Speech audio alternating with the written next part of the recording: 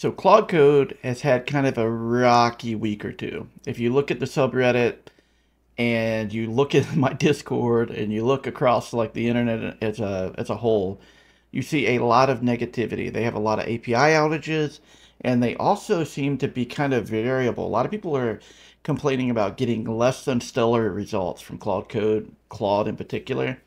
And people are even seeing it in other AI coding assistants like Augment Code. Now, whether that is actually happening, I actually think it possibly is, especially when you're doing a little bit more complex stuff. It feels like Claude has gotten to the point where it's taking shortcuts on things. But that's not the purpose of this video. I am calling that out It's like I am aware of that, keeping an eye on it. I'm doing some tests to see if I can figure out if, if it's true or not.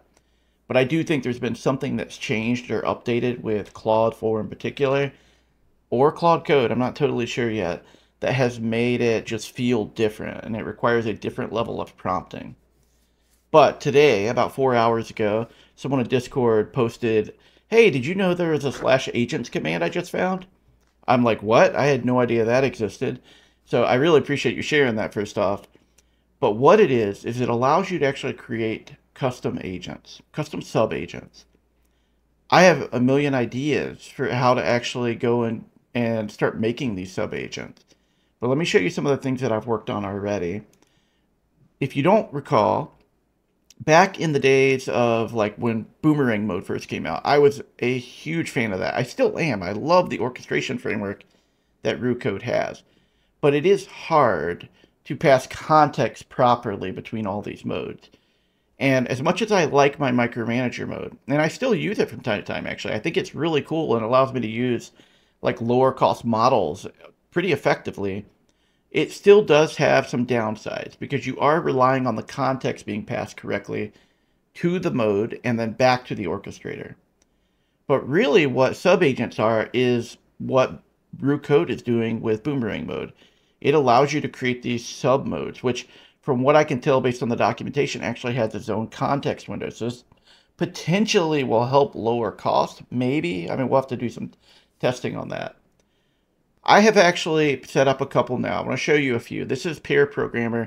It's one of my favorite modes, my absolute favorite modes from Roo Code that I've ever built because I've always felt like code mode uh, in Roo Code, pretty much any of these uh, tools, really, unless you prompt it very specifically, will just jump in and start coding right away. And sometimes I actually want options. So the idea here is that the agent will actually come back with some options. I will say I'm not happy with this one yet. I need to tweak it. It's only been a couple hours. The problem I'm having, and I'll show you here some examples. Uh, this is a very simple one that I actually set up. I have a slash command that I, I created with the idea of like, hey, can I send a new feature through a workflow? And I think this will work. So I have this workflow where it says start with a pair pr programmer agent to review this, then confirm with the user what approach to take. So it should take the feedback from the pair programmer, talk to the user, and theoretically, if you have feedback, it should go back to the pair programmer. I don't know if that'll happen or not. But then you will proceed with implementing it using just the general purpose agents. I say multiple general, general purpose agents, hoping that if it can, it will split out multiple. Once it's done, you'll actually use my code reviewer mode that I've created, and that will actually give you give any feedback. And then when that comes back in, what'll happen is uh, we'll have more general agent to go through and implement that feedback, and then the results are there. Here's what that looks like with a very incredible, simple making a page mobile responsive. This is the simplest task I could think of just to see if the flow would work. It triggered the pair programmer it identified five different approaches, but this is the flaw that I need to work on. It only gave me approach two. I want to actually see all five approaches here so I can kind of think through what's happening. But honestly, this is the way I would have done it anyway, so I just continued on. And I did hit some rate limits here, which I was actually thinking that my whole test was going to be gone when that happened. Then it completed it and went to the code reviewer, which was great fix the issues, and it showed me the results. So worked just like I wanted, and to show you what this looks like, I know this is um, kind of basic, but it's pretty decently mobile responsive now. Uh, this did not work this well before. I should have showed you the before, but you can imagine the text boxes getting skewed when it got to a certain size. So that works great. It did what it needed to do. I have not reviewed the code yet, so I'm not going to commit that. Now, the other thing that I've been working on is a little bit of a bigger task. This one, I think it's going to take a little bit of time. Uh, you can see here that I was also getting API errors on this one. It has done the pair programmer. It did the analysis. It actually gave me three refactoring approaches. So this time it worked. It gave me the options I wanted. I do, again, I want this to be more consistent. And then it asked me, and I said, sure, let's try number one. It created the to-do list, and it's updating it. And now it's thinking, I don't know if this is actually, I feel like it might be hung here. Actually, I just saw it move. I saw it go offline. There we go. It's coming back on. We'll see what this ends up triggering. But regardless of that, let me show you how to actually set up a new sub agent. Remember, if you do want to make a uh, custom slash command, it's very easy. Just in your .claude folder, create a commands folder, make a MD file. Whatever you name that MD file, it's just going to show up as a command. So here you can see new feature.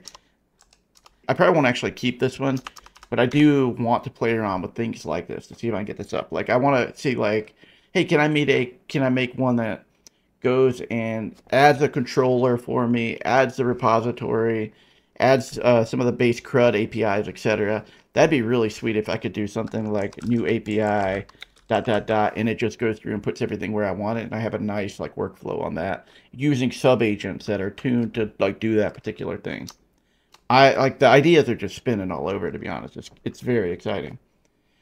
But let me say you want to actually create your own, you go to agents I would recommend, unless you're like really, really sure what you want to build, like the ones in Roo Code, I spent many, many, many hours kind of building those out. And I actually had people in Discord refine them for me. And I've used, I think my latest version I'm using a pair programmer was actually one that somebody helped me refine. So I appreciate that kind of feedback too. And I, I hope to see that with these types of sub agents as well. So I'm going to go ahead and create a new sub agent. You can choose between personal, which will put it kind of at the global level on your computer, or you can put it at the project level. I'm just going to put it at the project level here. And then I'm going to say, I want to generate this with Claude. Now, one of the things I was thinking about is like, what's a good agent to create here? And I was thinking, why not just make a backend developer? So I'm just going to say, expert backend developer that excels at creating APIs, data models, authentication, breaks out code to manageable services and utility classes, follows all loopback 4 best practices. So I'm going to go ahead and create that.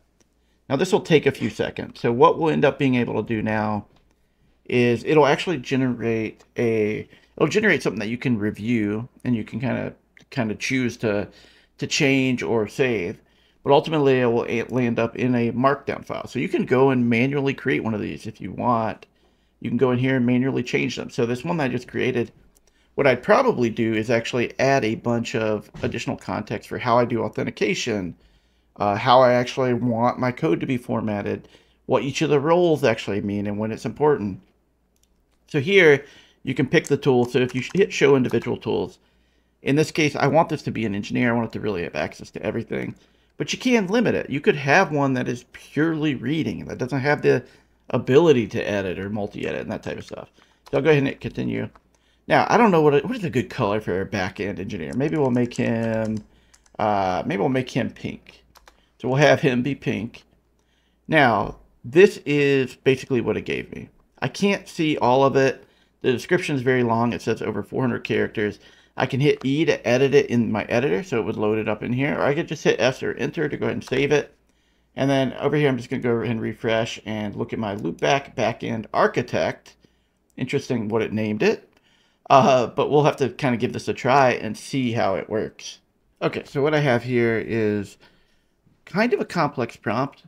The idea is I want to add a new LLM tool called Raylon Help that will take basically a query. So if someone in, in the chat says, hey, I don't know how to do XYZ, it'll take that question, send it to another, it sends it to a function call. I'll use another LLM. That LLM will take a bunch of context. I could probably do even like some RAG stuff in the future. But it'll take some context about our product, probably start lightly, and then it will return an answer back that'll go to the, the original LLM. This is a model I'm actually using quite a lot in my product. It works incredibly well, which you can kind of think of as subagents. So yeah, I have a lot of subagents in my project. Um, I've asked it to start with pair programmer, implement with the loopback backend architect, and then basically go to the code reviewer. And we'll, we'll see what happens here. I'll fast forward through some of this. So what's interesting here is it actually did a bunch of research before using my pair programmer. So I wonder what kind of context it's passing to the pair programmer going into this. Because is the pair programmer going to have to do all of that again? So we'll just have to kind of see what happens. Awesome. Look at this. So pair programmer went through. Oh, wow. Uh, see, this is the problem that I have. It didn't actually confirm with me. Uh, and that might be because I need to wrap that workflow in front of it. Because if you notice when I actually did the new feature workflow, it did actually confirm with me. In this one, it used a pair programmer to confirm with what the, the LLM thought it was. So it's like a pair programmer for the LLM. I, I definitely got to tweak that some. But man, just think about the options here. That actually was a good change. That's exactly what they needed to do, by the way, what I just changed. The loopback backend architect is running now. I like the way it's colored. This is really slick. I think there's just so many neat things that we can do now. There's a lot of tedious things that I actually want to go through, create subagents for that are highly tuned. I don't know. Like I, I think I'd be very curious what you guys think about this if you have ideas for different like subagents that we should build, post them in the comments below. My mind is just spinning. I probably have about 10 that I, I really want to set up. But don't forget, the workflows I think are going to be the trick to this.